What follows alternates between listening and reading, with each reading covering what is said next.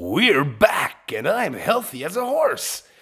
A horse with cancer, that is.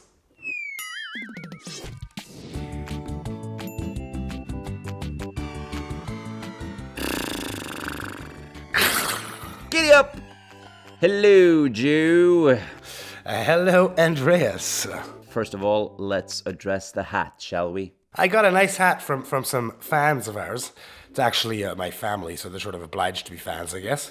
My, my cousin uh, Kathy, who you've seen on, on, I think, some Facebook posts. Kathy Cooper? That's it. and uh, her and her boyfriend Ron sent me this nice hat from Canada, and it's quite fitting because it has one ball. Nice. And a big C. C for cancer. Exactly. Ah, very nice. The only problem is it's not Canada here, so I'm melting in this hat. So I'm going to take it off and wait for uh, colder times. Fair, fair, fair. I don't know if you can see it, but I'm like soaked with sweat. Uh, I can't, but I can see your T-shirt says "Stupid is spreading." It is As fast as cancer, or mm, slower? probably faster. I think there are more stupid people than people with cancer in the Yes, that's not a guess. That's a fact. We've talked about that quite often, though. So But that's mainly because we don't like people. At least I don't. Yeah. I like some people. Anywho, we're back in the game. We've been off for uh, what seems like years, months, weeks, eons. What's the reason, Joe? Cancer. Ah, that old chestnut. Yeah, I use that card. I don't use it too often. No, but I mean, stuff happened. We we tried to record this a couple of times, and then I was under the weather a bit last week, and uh, well, finally we're here. All right. We're recording this actually exactly, I think, three weeks after the last episode came out. And uh, yeah, it's a morning episode again, so let's see if we're funny. Yeah, I was out drinking heavily last night, so uh, this will be a hoot. Oh, well, that's uh, at least. But you don't get hangovers, right? I don't. So you should be perfectly not good today. Yeah, but I might look puffy and and weird. Oh, so your face gets a hangover, but your brain doesn't. Well, my face has never been uh, a work of art before, so adding gallons of straight liquor won't help the puffiness. Just call me Puff Daddy Okie dokie. or Lil Dicky, which I've more people have started calling me Lil Dicky lately because they know you call me Lil Dicky. I do that sometimes, and it has nothing to do with the, the, the rapper Lil Dicky. No, It's just because you're a, a little Dicky. I mean, what can I say? Look at you. What else am I going to call you? This is fair. This is very fair. Ay ay ay. All right. So um, you're uh, you're bald. That's new. I'm bald. That's not that new. Did you uh, did you lose your eyebrows? I did actually. No, no, I've, I've got a couple of hairs left, but they've basically disappeared. It's uh, it's quite surprising. I didn't even really notice until it was suddenly. Oh, I don't have eyebrows, and I have like basically no hair left on my legs either. Okay. I could I could become a, a cyclist. Finally. yes, exactly. This is this I is the one like, thing my- you've been waiting for. Hey, it's my. I'm doing trying to become Lance Armstrong. I have one ball. I'm aerodynamic. Now I just have to find a doctor who'll give me lots of dope to make me go faster. yeah, you can do that. Are you? Uh, have you ever been a, a biker? Not a biker biker, but like a bicyclist. Well, it depends what you mean by a bicyclist. I, I, I like. I've often used a bicycle, but in Switzerland you have people who go on their bike, and then you have people who go on their bike, but they think they're real cyclists. And a lot of people do this, and they've got a professional bike, and they've got all the clothes, and they've got everything, and and then they go out biking for probably twenty minutes or something. but I don't do that. I'm guessing you're gonna blame the cancer again. Absolutely, absolutely. All right. But so yeah, last time the episode, the last episode came out, just when I'd started round three of chemo. Yes, the new round. Exactly, round three, which at the time I thought might be the last round, but we'll see in a minute that it's not going to be. But so uh, maybe just a quick recap of how the chemo works. I'm hooked up for three days to uh, Philippe, to the IV stand, mostly getting water, but then for like on the first day, about five or six hours of chemical products. Day two, about two hours of chemical products, and day three, two hours of chemical products again. And most of the time, I can walk around with my buddy Philippe, go about the hospital, do whatever I want, except when I have the chemo products because they can't be out in the light and just so nothing happens. And it's quite funny because you can tell which products are chemo because when I'm getting saline solution, it's just a bottle. hanging on my stand, and all the chemo ones come in these bright yellow bags, meaning be careful, obviously. Mm-hmm. So it's quite funny. Then if I do walk around after the chemo, when when the bags the I'm no longer getting the chemical products, but they still leave the empty bags on there. And so it's quite funny. I walk through the hospital. It's like a, a big light that tells all the medical staff, I have cancer, I have cancer, I have cancer. You get in an elevator and they say hello, and then they look at the yellow bag and they're like, hello. Nice. But yeah, it's funny. When one of my nurses, I had a great nurse who's becoming specialized in oncology. So she's really interesting, interested rather. She asked me a ton of questions about how things go. And at one point, another nurse made a slight mistake hooking up the IV stand and some of it dripped out. They obviously had big gloves on, so it wasn't a problem.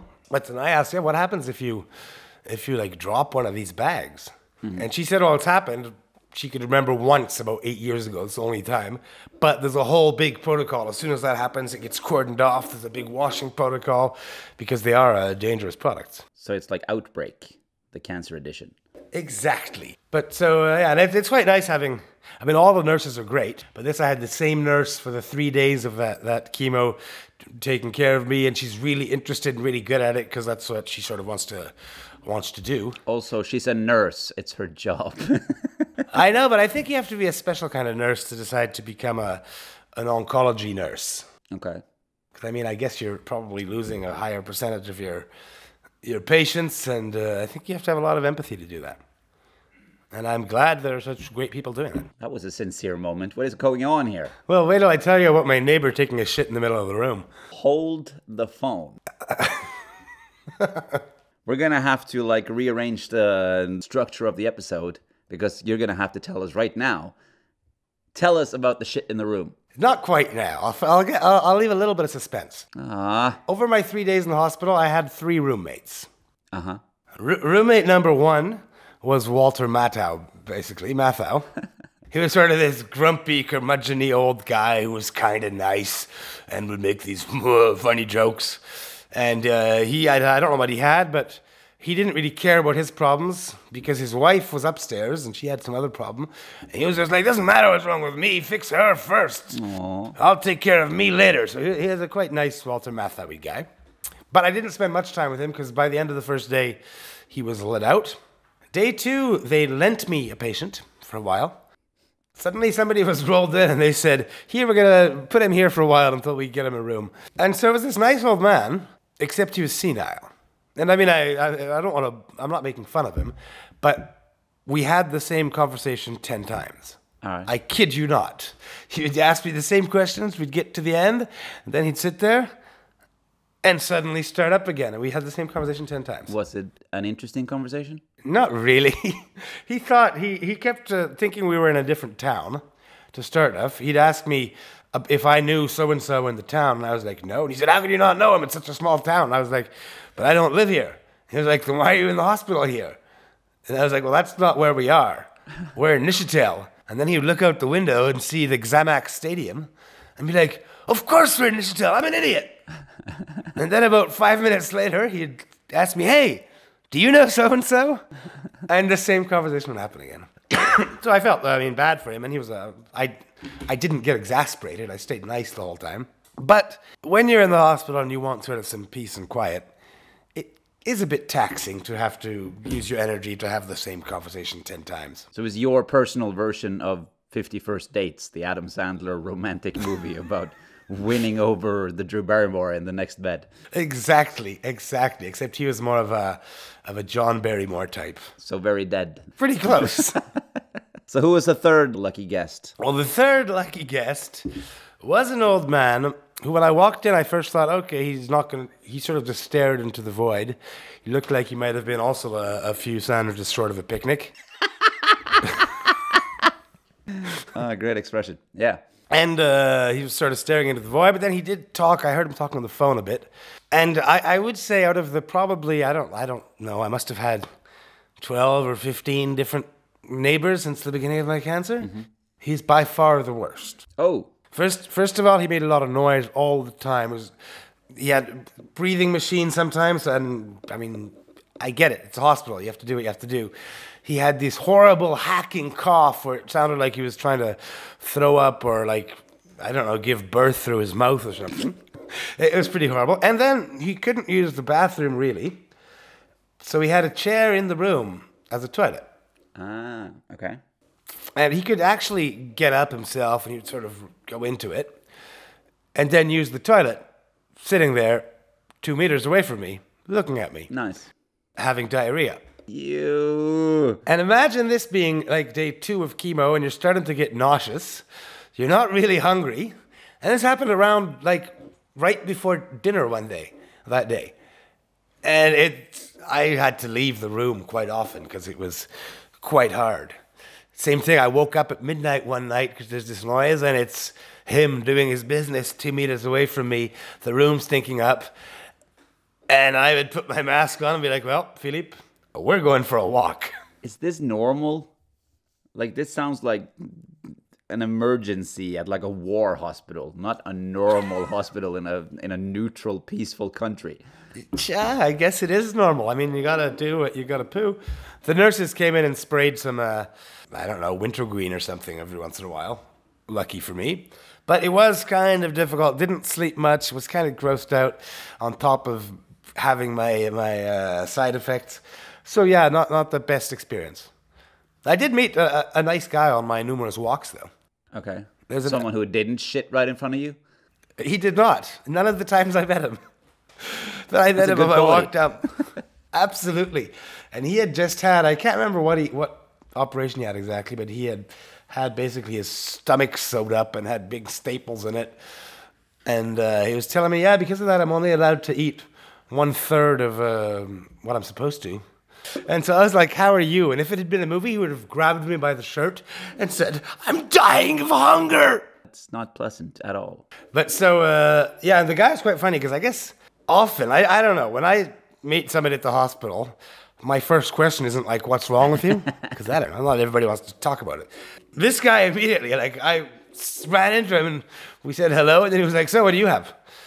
And he had already had cancer actually uh, a while ago. He had different cancer, but he said he made it back fine from that. It was quite impressive and uh, not to worry too much. And then this other person came who we first thought, because we saw him from behind, and we both thought it was a large Bavarian woman. but it was a man. Fair. Much better to say what do you have than what's wrong with you. I guess so. That's true. That's true. Luckily, on, on on day three of my hospitalization, uh, my buddies came by to play petanque with me. In the room, No, we went outside, which was a lot nicer. And none of them actually took a shit during the game, which was quite nice. and they also didn't repeat the, the same conversation over and over, so it was kind of kind of nice to and refreshing to have some real people who knew how to like contain their bowels. You have high standards of uh, what type of people you want to be around. Yeah, I mean, they don't even have to be nice. Actually, I just really like the whole keep your your bowels in check when you're around me. Some might, some might call you uh, conservative in that respect, but you know, But so yeah, then I like got out again on day four. Had exactly the same thing as the the two rounds before. Sort of on day three, started feeling a bit under the weather. Didn't really want to eat. Came out on day four and, and wanted a, a Subway sandwich. fair. So went to eat a big fattening Subway sandwich, and uh, went back to my folks' place for a, for a bit, and then basically lived life normally for two weeks. Of course, I've got to go get this uh, my my PICC line, which is still in here in my arm. I got to go get the the dressing changed every week, and I went to get that, and they always check it first to see how the the flow is going, and it was completely blocked. Couldn't get anything in or out of it. Okay. Yeah, they were talking about maybe having to, if they couldn't solve it, have to install a second PICC line in my other arm, which I wasn't thrilled about. But luckily, then they put a couple of milliliters of some kind of product in my arm. They said, go see your doc, because I had a meeting with my oncologist also. And when I came back down 30 minutes later, perfectly fine. So yes, hospital petanque. Yeah, we already discussed that. My PICC line was, uh, was blocked, but luckily it unblocked pretty quickly. And so that was the first week. And then I had a scanner.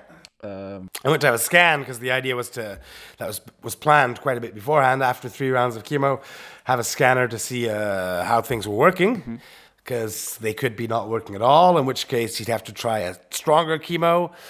But in this case, I walked in and he was like, "Good news," and the way he said it, I didn't even realize he was talking about me. So I was like, "Oh yeah, what?" And he was like, Well, your results. I was like, Oh, oh, my results. Oh, cool. And he was very happy. Everything got quite a bit smaller. The nodules in my, my lungs got uh, smaller. Even the stuff near my, my aorta, near my, my um, spine, which weren't really, that's not really what we were aiming for with this uh, chemo. They got smaller too. And the one in my, in my liver completely disappeared. which is great. That is indeed great because there'll still be operations at some point, but that means there's already one less operation. They won't be operating on my liver. Always a winner. Absolutely. And so uh, then his decision was since I was responding so well to the chemo, to do one more round and then another scanner and then figure out what we're operating on in what order. And so that round four was uh, Monday, started Monday, which is two days ago. And it was, uh, so I went in Monday morning with one little problem. Well, exactly that problem. I had an itchy throat all weekend, and I would cough quite a bit. Is it contagious over podcasts? Uh, possibly. but so I had this itchy throat. I'd done a COVID test, though. It wasn't COVID. Although I did go out to a wedding with 120 people between the COVID test and, uh, and uh, going to the hospital. I socially distanced from everybody, though, and, and was quite smart about it. But did have this cough all weekend, and uh, I said this to the nurse on the Monday. She said, "Oh, well, see what happens."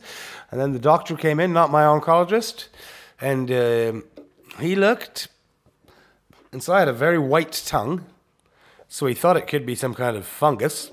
And uh, then my my oncologist came by, and he decided, well, we're not going to start the chemo today. We're going to sort of do a culture, see what's on your tongue, and start tomorrow. So I had a first day where I just did nothing. I was already hooked up to Philippe, so he fed me a, a liter of water over over 24 hours. But I, other than that, I didn't have to do anything. I walked around the hospital. I had a room to myself, Great. which was quite nice. And then the next morning, Method acting. I like it. uh, the next morning they had the results.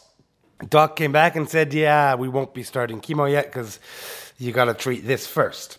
Which is So I was let out. Let out after 24 hours. It's, I think it's called oral thrush in England. In English, oral thrush. or as I like to say, we've got a fungus among us. and uh, so then they sent me to the pharmacy to get like a truckload of drugs. Uh-huh. I've got a little pipette I've got to put in my mouth, a little milliliter of, of one thing every eight hours. I've got pills I got to take. I've got five liters of mouthwash. Uh, well, not mouthwash, but like stuff I've got to gargle with 10 times a day. Okay. As soon as this is over, that's what I'm going to do. And I did it right before talking with you. Fair. But yeah, they, they they could only the pharmacist was a bit surprised and, and said he couldn't do anything about it. They could only give it to me in ten half liter bottles. 10 half liter bottles. Although I'll probably be using one a day, a bottle. So uh, I don't drink it though. I spit it out. Yeah. Gargle, gargle. But it was surprising because my the doc when he when when I was in the hospital and the doc looked at my tongue and he was like, "How long does your tongue look like that?" And I was like, "Like what?" I said, "All white." I was like, "What do you mean all white?" He said, "Come look." And I looked in the mirror and it was, I I've never seen it so white. Not like Caucasian, but, like white, white. exactly. But I guess I, I don't look at my tongue very often. It would seem, since I hadn't noticed that it had must have been there for a couple of days. Did they tell you how oral thrush uh, comes about? They said probably basically my immune system is uh, lower than usual because of the chemo, and that's the kind of thing that can happen. Okay. And let's say oral thrush almost sounds like something rude, like oral thrust. Well, thrush is already something very unpleasant that happens in the downstairs area. Uh, so that just means a a mouth version of that, Isn't it also a Canadian rock band? Isn't that? Oh no, that's Rush. That's Rush. You you rushed into that joke too quickly. Well, that's what they say about fools, you know. yes, they do rush in. Uh, yes. Fool's errand. Hey, I'm nobody's fool, Bruce. So you also have sort of a dementia-like thing. No. Because you know the movie Nobody's Fool? Yes, Excellent movie. Bruce Willis, Paul Newman, Melanie Griffith. exactly. And Bruce Willis has a dementia thing now. Well, I mean, if you look at his past 25 movies, you can kind of figure he must have had it to accept to play in them.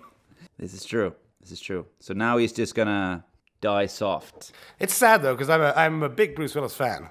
I mean, Die Hard, Die Hard with a Vengeance, all that shit. So it's sad uh, that we probably won't be getting many more Bruce Willis action movies. But I guess it is sort of nice that we won't be seeing so many shitty ones that we don't want to see. I mean, I don't actually watch them, but it is sort of sad every time you see a new DVD cover with Bruce Willis that looks terrible. He had eight movies in 2021. Well, yeah, they were all nominated for the Raspberry in the category Worst Bruce Willis Movie. But if you star in eight movies over the course of a year, that is a signal that you're not exactly making The Godfather. Exactly. I have the same hairstyle as him, though. So if they need to do Die Hard 5 or something, or did they already do that? And Die Hard 6, maybe? I don't know. They're in. I think they're in the double digits, like 42 or something. So apart from the fact that you look like the love child of a smooth seal and Bruce Willis, any other side effects? At the moment, not really. All right. I mean, I've got the cough, but that's not exactly a side effect. Otherwise, I expect when chemo starts again, I'll have the same thing. I'll get a little nauseous for a day or two, lose my appetite, feel a little tired, and then it'll get better. It won't last too long. Okay. Uh, do you sleep? I sleep quite a lot. Okay. I sleep quite, but I like naps. I still go to sleep pretty late and uh, wake up, especially like this morning. I was tired, but I still woke up at seven because that's, I guess, because I was in the hospital yesterday, and that's when you wake up. Okay. But no, I, I sleep quite a bit. I, I, I've got most of my energy though. Still, I guess a little bit less, but I go out and do stuff. Uh, this afternoon, I'm going to meet my friends to play some petanque, not at a hospital, which is equally nice. Up by the castle? Up by the castle, exactly. They'll probably find it funny because they'll all be standing there with their beer. And I'll have my giant bottle of mouth stuff that I have to gargle with every hour. I was told I'm allowed to take it. I'm going to take it with a like in a cool bag, you know, with a Yeah. what you usually do to keep your beer cool. I'll be just, ah, that's my mouthwash. My, I mean, mouthwash. It's basically just water with salt and sodium uh, bicarbonate, Sounds tasty. which I still every time I think oral thrust, which sounds like something, something that I, I don't know. Rude and crude. Yeah, something surrounding uh, the guy who exposed Watergate. if you know what I mean. Anywho, you might you maybe you can go online to like a Chinese website and find uh, mouthwash, beer flavored mouthwash. I yeah, I'm not sure I'd want that because then I'd want to swallow it instead of spit it out. Maybe it'll rinse your insides in a positive way. It'll be like a colonic. It's surprising since you've left, because I mean I'm allowed to drink alcohol. I'm not supposed to go overboard. I think since you left, I had because we had we had some alcohol while you were here, not huge amounts, but probably more than I have in most weeks. I think since then, I've had like two beers and two glasses of wine and a Cosmo, Oh. and that was all this morning. I was gonna say that sounds like a classy early afternoon for me, but then again, you have the cancer card. And uh, yeah, now as I went out for dinner before going back to my chemo, which never was, went back out to that nice restaurant we went with you, the Cardinal. Had a huge meal again. None of us got cheese cancer though. Didn't we have a conversation about you being uh, under the weather because of cheese recently? No, well, 10 days ago I was under the weather. I don't think it was because of cheese though. Maybe I'm just trying to tell myself that that had to be the reason because I can't be the only man in history who went down because of cheese. Oh, I doubt you are. I doubt you are. I am a cheesy man though, so it could could be true. Yes, you are, Richard. Richard. Yeah, there's a singer, a lounge singer, Richard Cheese. You don't know him? No. He's excellent. He does excellent cover. Richard Cheese, or, or uh, I guess for short, Dick Cheese. Yes, I, I thought that's where you were going. That's not where I was going. That's where he was going. no, he's great. You should look him up. The Richard Cheese. He does lounge versions of like Nirvana and Rage Against the Machine, like like Las Vegas lounge versions that are really quite good. Ah, there's there's a lot of dad jokes in there. By the way, I heard I I, I heard po- possibly the best dad joke I've ever heard yesterday. Go ahead, shoot. I was out with two buddies, and he even said it in, in English. I mean, he's Norwegian, but he had to say the joke in English. He said, When does a joke become a dad joke? When it's apparent. The punchline is apparent. Yes. That's it. That's it. That's it. That's very funny. It is funny. N- not as funny when you know the punchline. Well, yeah. But yes, I enjoyed it. I always know the punchline, and I never pretend I don't. I'm a, I'm a dick. Oh yeah, that's yeah. You told me that you do that with your friends' kids. Exactly. My friends' kids love telling me jokes. They're always really excited, and they're like, "Hey, what's uh, whatever?" And then I'm like, "This," and I know every answer. they're always they're always very disappointed, but they're well, not very disappointed. Then they're they're extremely happy when they find one that I don't know. I was there when they said a bunch of jokes. I can't remember any, any of them because I was drinking rum at the time. And they were saying the jokes in French. Yeah, but you translated some of them. That's true. So you're basically you're preparing for, or you're in the middle of round four. of- Exactly. I've got now another ten days off, so to speak. so this is episode four Five. of season. Episode five. No, no, not not. This is episode four of season two of your chemo. Oh, that's true. Not- not That- that- that's true. And episode five of season two of the podcast. Yes, we're ahead of the chemo. Exactly. So we, we're doing a flash forward like in Lost.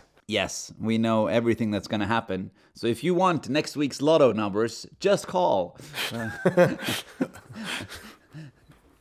Exactly. All right. So then it's uh, operation time, and Sometime you'll in May. I'm hoping. And, uh, and and then a party to celebrate one year of my cancer. Yes. Like I want to make a, a ball, get someone to make me a ball shaped cake, or a having a ball cake. I don't quite know. Either a, either a like anatomically correct testicle cake. Ooh, I could so a tiny cake. little cupcakes. Little, Uh-uh. Wouldn't that be nice? I don't know. I mean, something with maybe only serve spherical foods. yes, like hors hors d'oeuvres. in Exactly. the shape of like a Scotch egg. A Scotch egg and little tomatoes with little balls of mozzarella, and uh, I don't know Meat, meatballs, obviously. meatballs and The Brazilian cheese balls, they're great. Brazilian cheese balls that we had in Switzerland. You mean? We did. We did. We That's indeed. true. There'd be lots of there's lots of spherical kind of foods. If there's anything I haven't thought of that, that, that our viewers think you would Okay, what would you serve at a testicular cancer meal? party. Party. Remember, keep it festive, keep it light. Any suggestions, recipes, uh, um, I'm, I'm up for. And don't just say like Brussels sprouts, because we want something fun. Ball based. Just think of it as a as an assignment in making a coherent dish with uh, flavors that work together, a starter, a main, some additional balls. Exactly, and the the person with the worst uh, with the worst suggestion can pack his knives and go. So if we get like a really cool menu, uh, we can make like a film about that. I'll come down. We'll get some chef people to cook some cool ball food. I already know. I already have at least one chef who I, I'm 100% would go balls to the walls with that kind of idea. It sounds ball-tastic. Maybe having a ball will be like a like a food supplier after this. Exactly, that's true. If they sell, if they if like. I don't know, 1% of the proceeds of all spherical foods went to testicular cancer research. I probably wouldn't have cancer. I'm just imagining the commercials. Having a meatball. Having a, our good friend Ori might enjoy having a matzo ball. but so yeah, any suggestions? Because uh, we always like it when people do uh, uh, write comments to us, of course. Chocolate salty balls from South Park. I yeah, I know that. Yeah, no, I was just telling them. They know that. I can see how smart they look. Today's audience. It's not the same idiots who were watching last week. These guys look like a bunch of clever dudes and dudettes. Uh, definitely. Definitely. So send us your your ball shaped, or even it doesn't have to be ball shaped. If you have anything else, if it's tumor shaped, go for it. If you have any Yes. ideas that you would serve at someone's cancer, testicular cancer birthday party, send them to me, and maybe you'll get an invite. Also, if you have made stuff like this and you have pictures, send us pictures. We can Yes. add it on the show.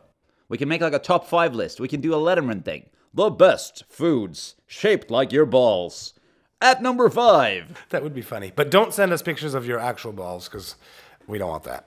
Nah. No. Although you are carrying around a fake testicle at all times, which looks, let's face it, gross. That's true. I don't have it next to me right now, which is which is strange. You feel empty Yes. and hollow.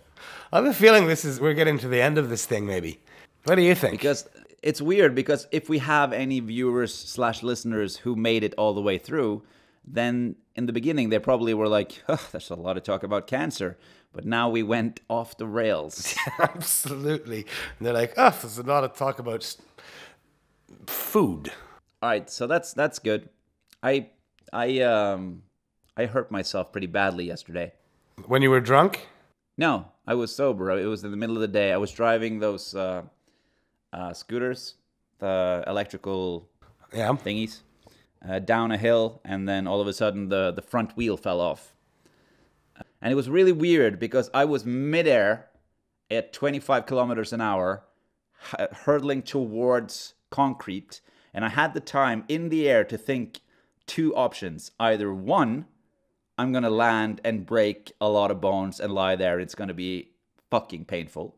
Or two, if I land somewhat normally, this will be awkward. So I have to get up right away, even though there weren't any people there. It was like a 14 year old girl, I'm embarrassed kind of vibe.